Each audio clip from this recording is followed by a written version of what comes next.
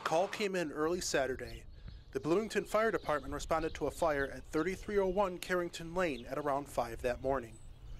The house is located in South Bloomington, which made it a challenge for the fire department. Knowing the area of where it's at, it's on the fringe of our district, which uh, provides a lot of challenges for us. Uh, we just know that uh, we can't get there any faster than we can get there.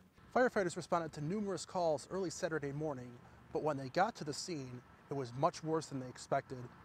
Firefighters had to battle the elements to extinguish the fire as quickly as possible. Uh, the house was totally engulfed in flames at this point. Uh, we had about 20, 22 mile an hour winds uh, working against us, uh, uh, aiding in the uh, push of the fire throughout the structure. Uh, at this point, uh, I think we're calling it uh, pretty much a loss. When they knew what they were up against, firefighters quickly planned a strategy to put the house fire out. They started in what we call the defensive mode. Uh, they just hit it from the outside with water until it was safe to go in uh, and extinguish the rest of the fire.